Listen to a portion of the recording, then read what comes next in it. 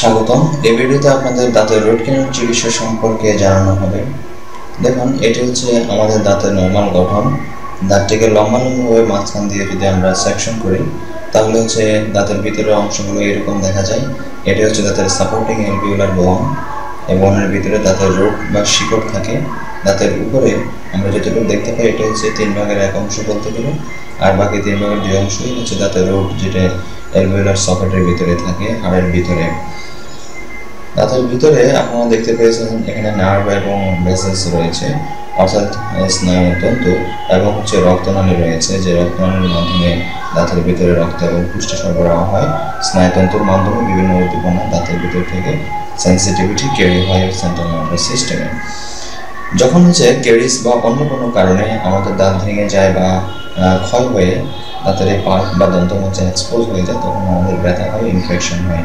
এবং ইনফেকশন যদি চিকিৎসা করা না হয়, তাহলে ধীরে ধীরে আমাদের এই ইনফেকশন দাঁত থেকে বের হয়ে চোয়ালের হাড়ে চলে যায়। যেখানে আপনারা এই ছবিতে দেখতে পেয়েছেন যে ইনফেকশন ছোঁয়ালার হাড় থেকে ছোঁয়ালার হাড়ে চলে এসে এখানে ছোটো অ্যাক্সেস বা সিস্ট হয়ে গিয়েছে, চিকিৎসা লেট করার কারণে।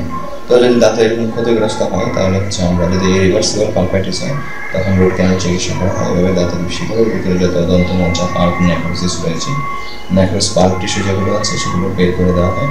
বের করে দিয়ে দাঁতের ভিতরে সিল করে দেওয়া হয়। আপনারা এখানে দেখতে পাচ্ছেন যে রুটের ভিতরে এক ধরনের মেডিসিন রয়েছে। এই মেডিসিন যে ক্যাভিটিটা রুট ক্যানালটা বন্ধ করে দেওয়া হয় এবং বন্ধ করে দিলে সেখানে আর কোনো ব্যাকটেরিয়া ঢুকতে পারবে না। এপিক্যাল ওয়ান ধরে যদি কুইকটেড সিল হয়, এখান থেকে ইলেকট্রো ডিরেকশন থেকেও কোনো ধরনের জীবাণু এখানে ঢুকতে পারবে না। এখানে চমৎকার রুট ক্যানাল ট্রিটমেন্ট হয়েছে, যে আপনারা দেখতে পেয়েছেন একটা কনিক্যাল শেপের ক্যানাল প্রিপারেশন করে রুট ক্যানাল চিকিৎসা করা হয়েছে। একেবারে অ্যাপেক্স পর্যন্ত ফ্লুইড টাইট সিল হয়েছে। এটি পারমানেন্টলি লাইফ লং একটা চিকিৎসা যেখানে আর সমস্যা হওয়ার সম্ভাবনা নেই।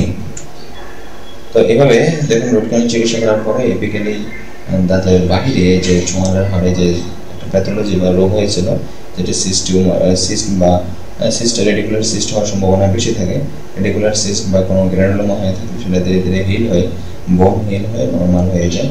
যদি এটি আরও দেরি করা হতো, তাহলে এই প্যাথোলজিটা আরও বড় হয়ে এখানে বড় ধরনের সিস্ট বা টিউমার হয়ে যেত।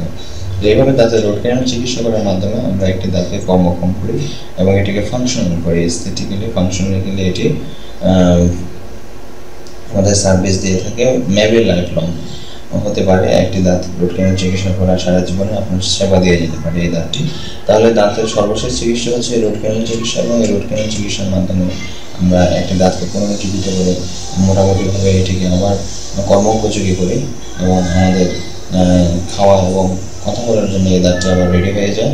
তো দাঁতের রুট ক্যানাল চিকিৎসা পরে একটি ক্যাপ করে নিতে হয় দাঁতের উপরে, তাহলে হচ্ছে দাঁতটি আমাদের খেতে সাহায্য করবে। দেখুন, দাঁতের উপরে একটি ক্যাপ করে নেওয়ার ফলে অরিজিনাল দাঁতের শেপে হয়ে গিয়েছে এবং এটিতে খাবার চিবানোর ফলে আমাদের এই দাঁতটি ভাঙবে না। তো আশা করি আপনারা ভিডিওটি বুঝতে পেরেছেন এই দাঁতের সবচেয়ে কঠিন জটিল কমপ্লিকেটেড চিকিৎসা হচ্ছে রোড ক্যানেল চিকিৎসা। অনেকে ভাবেন যে রোড চিকিৎসা ব্যথা হবে কিনা। আসলে রোড চিকিৎসা ব্যথা হওয়ার কথা না। যদি রোড চিকিৎসা আপনি ব্যথা পেয়ে থাকেন, তাহলে বুঝবেন যে সে চিকিৎসার সমস্যা রয়েছে।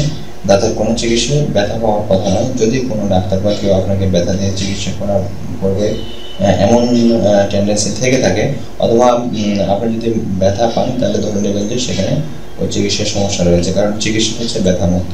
ব্যথামুক্ত চিকিৎসা নিয়ে আপনারা সুস্থ থাকবেন, এই প্রত্যাশায় বিদায় নিচ্ছি।